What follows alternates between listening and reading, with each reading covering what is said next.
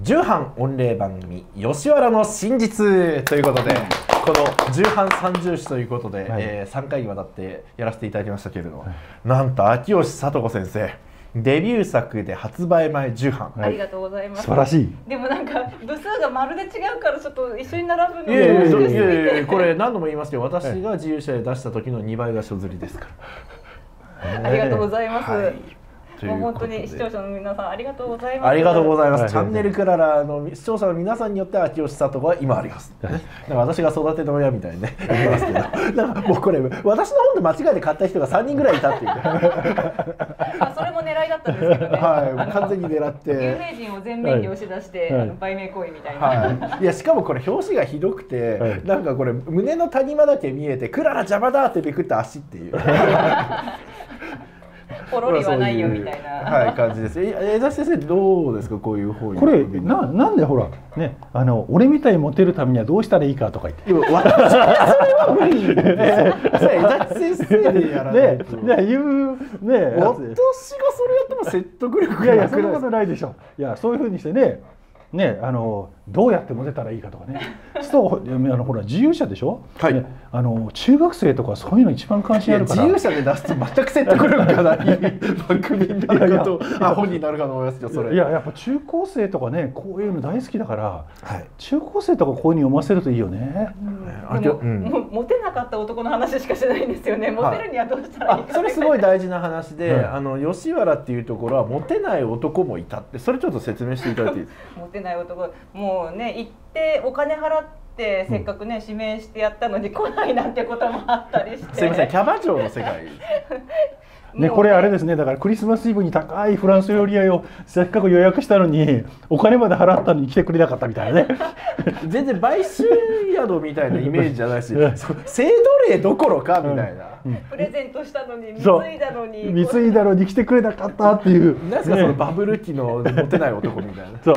ね。まあ、それとすっごいもう銀座のねお姉ちゃんと、うん。あの吉原の遊女さんたちっていう似通ったところがあってでまああの人たちもそれが嫌だったら下女さんとかねうん。辛い仕事でもやればよかったんですけど、うん。あえね冷たいお水に触るのが嫌だから、うん。そっちでいたわけなんでだからどっちもどっちかなっていうのは。そそのあの客を断れたって知らない人多い。ああそうだと思いますね。だから制度例なわけがない。はい。でもこれ客断れたっていうのは僕分かる。あのいや僕も落語を読んでたので聞いてたので、はい。まああのね、落語のことも引用されてますけどね、まあ、その通りだなっていうのとあの基本的にですね客を断れなければ高い値段払わないからね払う側が。うん。あの手に入らないからお金をつぎ込むんですよ。なるほど。バカ男はバカだから。先生すごい深い。これ。弟子入りさせていただいいてやいやいやいや。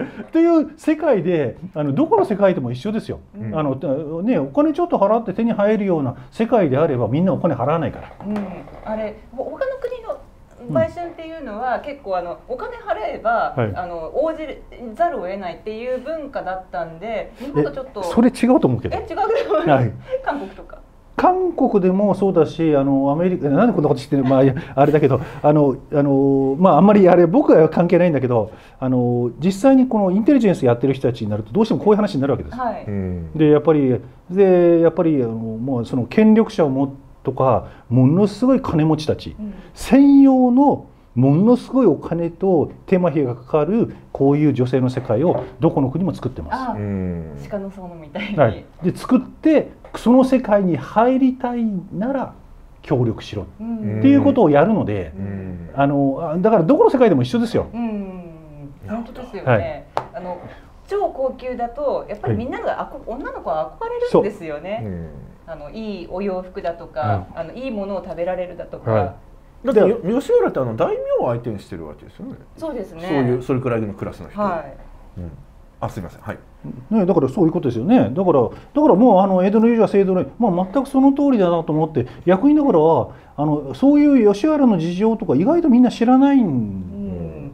落語そう先生落語を引はい。用せてるふうに言ってくださったんですけど、はい。そういう古典落語とかはい。古典を触れてないと、はい。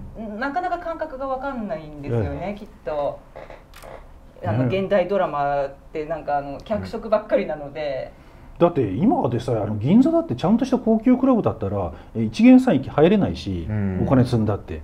うん。でお金積んで一元さんで入ったとしてもちゃんとしたクラスの人間相手にしないし。うんで一元さんのお金積んで入ってもこの人を次付き合っていいかなっていうのは目踏みするしあのあの、ね、じゃあの女性の側からしてもあの変な人間と付き合ったり変な人間とあれしてるとそれで格が落ちるので。あうん。ではい。格が落ちるともうもう戻れないので。だからそういう格を維持するとかなんとかっていうことも考えるともう当然のことながら、ね、振る人間相手にしないうんっていう形でねこうやっていくのは当然の話で。すごい深い話いやです。いやいやいやそういおん特に女の人それありますよね、はい。あの付き合う人間間違えて一度格が落ちると、はい。二度と上がれこれねチャンネルクララ見てる女子ねもう一生覚えておいてくださいダメンズと付き合うとなんか一生そういうのついて回るみたいな、回る回る、うんダメだよっていう、ですねまあダメンズが好きな人もいるからまあそれは好みの問題だからいいんですけど。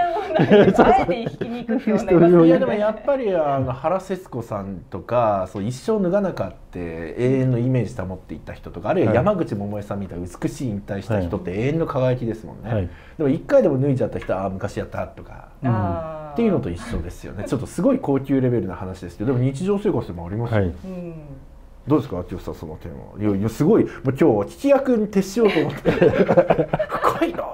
今日チャンネルクララ深い話しよう。まさか江崎先生と秋吉さんがこんなにいいコンビになると思ってなかったんで。いやだってこういうの大事でしょ、うん。で僕らからするとこあのあのだあのだから日本の政治家とかですよ。こういうの読んでちゃんと理解した方がいいと思うんですよね。んあのとにかくあの僕らねあのいやこういうほらあのまあインテリジェンスやってた戦前のね人たちなんかに話聞くとこの女性っていうものに対してどう接するのかとか女性の人たちがいる場でどういうふうに振る舞いするのかとかそういうのをずーっと見られるので。でそれでやっぱりこいつはどのレベルなのかっていうことを分かるのでっていうことでだから江崎さんこうねあのそういう時はこういうふうなことやった方がいいよとかもういろ、まあ、細かいこと言うとちょっとあの、ねまあ、まずいんだけどあのいろいろ聞かされたので。いやいやいや本当に。やっぱりそういうのねだこういうの読んどくと基本的なこと分かっていいですよね。で僕らが言われたのはあのだからインテリジェンスやってる人が落語を読んどく聞いとけって。でインテリジェンスといえば、はい。その日本がそういった分野のだ男性たちがそういった分野で、はい。あのレベルが落ちてったっていうか、はい。経験値が少なくなってったのはやっぱり売春防止法のせいだと思うんですよね。でそれってあのやっぱりエリートの人たちだけが議論をしていってで日本のその庶民普通に稼ぎたいっていう庶民の人たちが全然議論には参加できないわけじゃないですか。うんうん勝手にエリートの人たちがやめようぜでもダメみたいなそういうあのエリートのプライドが戦ってで決まってしまったのがあの売春防止法で結局、うん。日本の男性の女性経験値を下げてしまったのはエリートのせいだと私は思うんですよね。うん。うん。でエリートの連中はそれなりに金持ってるから別にそういうのなくたって何とでもできるしね、うん。だからしょ逆に庶民の人たちがそうやってね痛めつけられてあの本当にかわいそうだと思いますよね。そう見てる。だから、うん。江崎先生のねこの「インテルの謀略の」はい。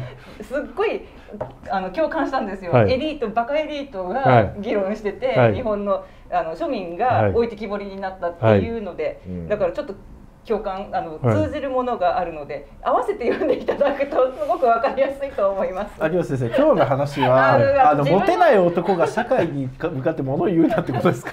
いやいやいやいやいや。いやモテるためには、あはい。の女性経験値をね積んだ方が私はいいと思うんですよ。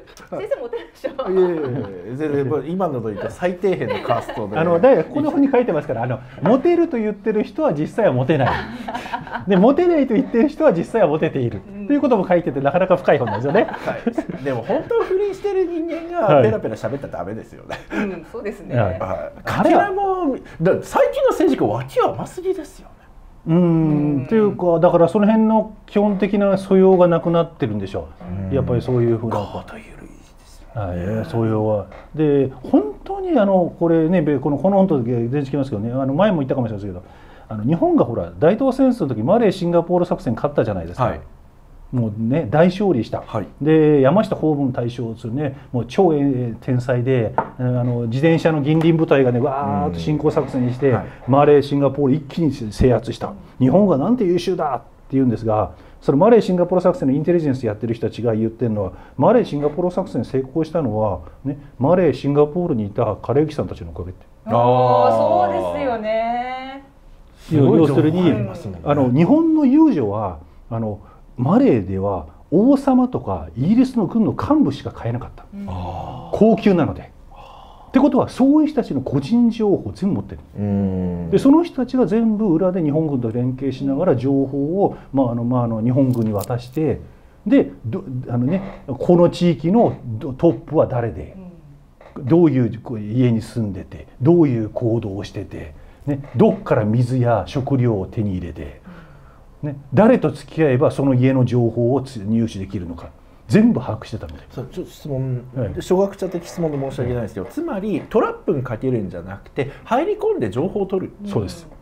トラップにかけて脅したりしないあトラップにしてるけどそうだだからいやだから要は何か。で僕が言ってたのはだからあのその本当にインテリジェンスやってる人は女性っていうのをものすごい大事にしてた。うんそうですよねでそれはあのあの要するにこの遊女たちも含めて本当にあの庶民の力っていうのはすごいので、うん。そういう人たちをどう大事にするのかっていうことがあって初めてインテリジェンスは何でも成り立つんだよと。うん。うんでやっぱりこれだから吉原以来もずっとやっぱり日本はそうやって女性のね、うん。そういう価値というものを大事にしてもう尊重してバカにせずに人格を認めっていうことをやってきた文化があるから日本は強かった。っうんていう話をですねあのそのマレーシンガポール作戦やった作戦参謀の人たちからもうとうとうと聞かされてでそれって精神残し残してるんですかって言ったらいや残せるわけねえじゃねえか。私 裏面。質問質問。はい。バルチック艦隊って、はい。そのおその人たち女の人たちはい。が情報を取ったって聞いたんですけど、なんかバルチック艦隊がなんか下から来るのは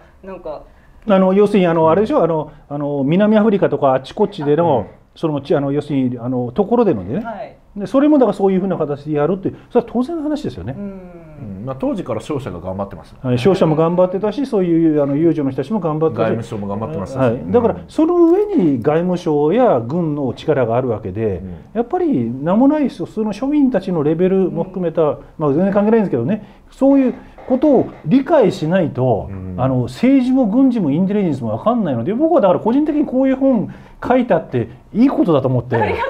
ます。うん全部一位資料で裏付けていってますからね、こういうのねみんなみんなバカにするんだけど、あのここういうことをバカにしてるから日本のインテリジェンスの能力がいつまでたっても上がらないので、うんありがとうございます。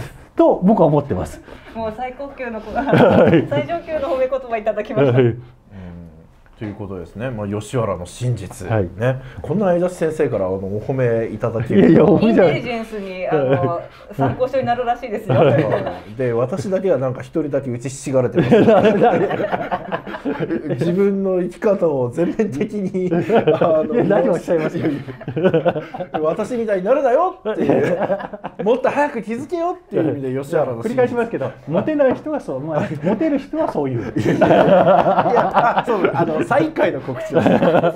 で9月24はい、日、江戸川江戸川区民セン区江戸川ターで区民センター。はい。あの思いっきり間違えた。あの記念出版記念講演会をやりますので皆さんよろしければお越しください。ね、その時まで何釣りになってるか分かりませんけれども、ね、ぜひともお越しください。はい。ということ。ありがとうございました。はい